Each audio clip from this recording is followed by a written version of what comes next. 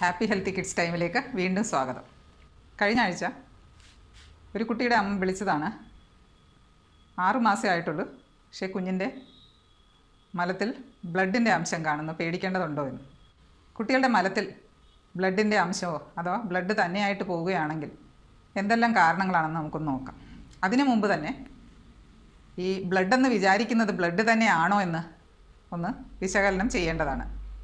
എന്തെന്നാൽ ബീറ്റ്റൂട്ട് കഴിക്കുന്ന കൂടുതൽ ബീട്രൂട്ട് കഴിക്കുന്ന കുട്ടിയുടെ വയറ്റിൽ നിന്ന് പോകുന്ന കണ്ടാൽ ആരും പേടിച്ചു പോകും.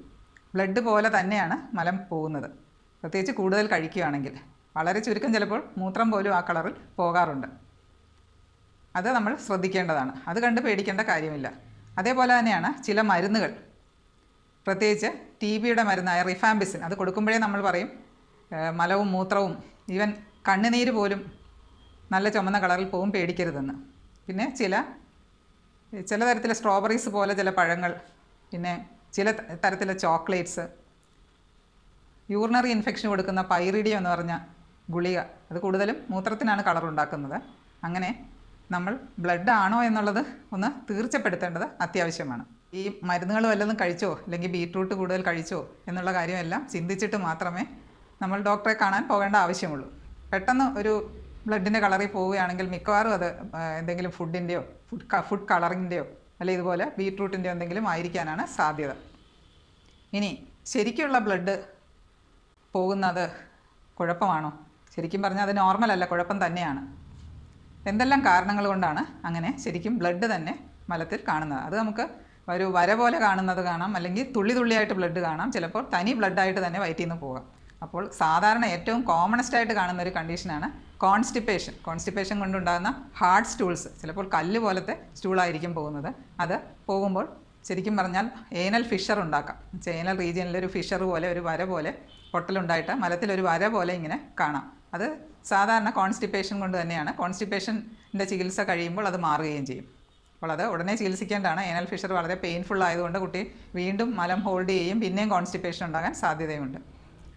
പിന്നെ മലത്തിൽ ബ്ലഡ് പോകുന്ന ഒരു സർജിക്കൽ കണ്ടീഷനാണ് റെക്ടൽ പോളിപ്പ് എന്ന് പറയുന്നത്.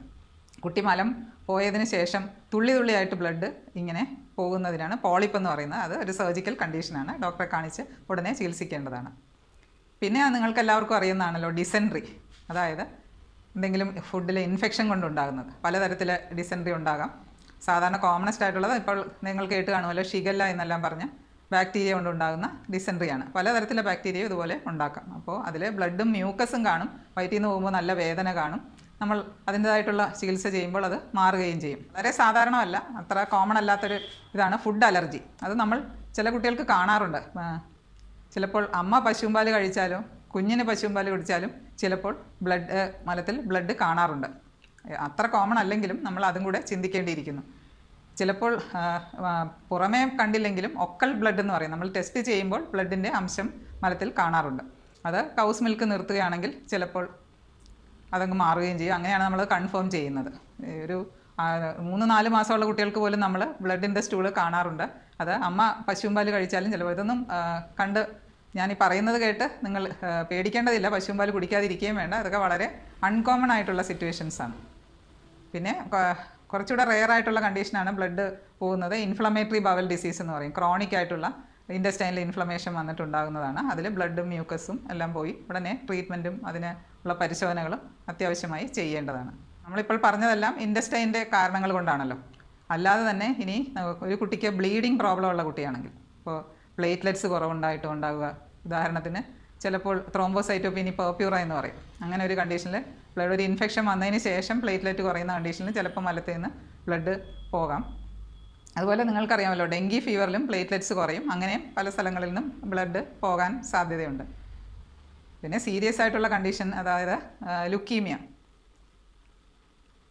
ലുക്കീമിയ പോലത്തെ അസുഖത്തിനും വായിൽ നിന്നോ മൂക്കിൽ നിന്നോ മലത്തിൽ കൂടെയെല്ലാം ബ്ലഡ് പോകാം. അതൊക്കെ വേറെ കാരണങ്ങൾ വേറെ കുട്ടികൾക്ക് അതിനോടുകൂടെ തന്നെ വിളർച്ച ഗ്ലാൻസുകളൊക്കെ എൻലാജ് ചെയ്യുക. അങ്ങനെ പല അതിന്റെ കൂടെ ഒപ്പം തന്നെ പല സിംറ്റംസും സൈൻസും കുട്ടികൾക്ക് കാണും. അപ്പോൾ സാധാരണ കാണുന്ന കാരണങ്ങളാണ് ഞാനിപ്പോൾ പറഞ്ഞത്. മലത്തിൽ ബ്ലഡ് കാണുന്നത്. അതിൽ ഏറ്റവും കൂടുതലായിട്ട് കാണുന്നത് കോൺസ്റ്റിപ്പേഷനാണ് കോൺസ്റ്റിപ്പേഷനെ പറ്റി ഞാൻ ഒന്നോ രണ്ടോ വീഡിയോ പറഞ്ഞിട്ടുണ്ട്. എങ്ങനെ ചികിത്സിക്കണമെന്നും എന്ത് ഫുഡ് കൊടുക്കണമെന്നും എല്ലാം. അത് നിങ്ങളൊന്ന് കണ്ടാൽ മതി. പിന്നെ ഡിസെൻട്രിയുടെ കാര്യം പറഞ്ഞല്ലോ. അത് സാധാരണ ഫുഡിൽ നിന്ന് കിട്ടുന്ന ഇൻഫെക്ഷനാണ് പിന്നെ കൗസ് മിൽക്ക് അലർജി അല്ലെങ്കിൽ വേറെ ഏതെങ്കിലും ഫുഡിന് അലർജി ഉണ്ടായാലും ചിലപ്പോൾ അങ്ങനെ വന്നേക്കാം.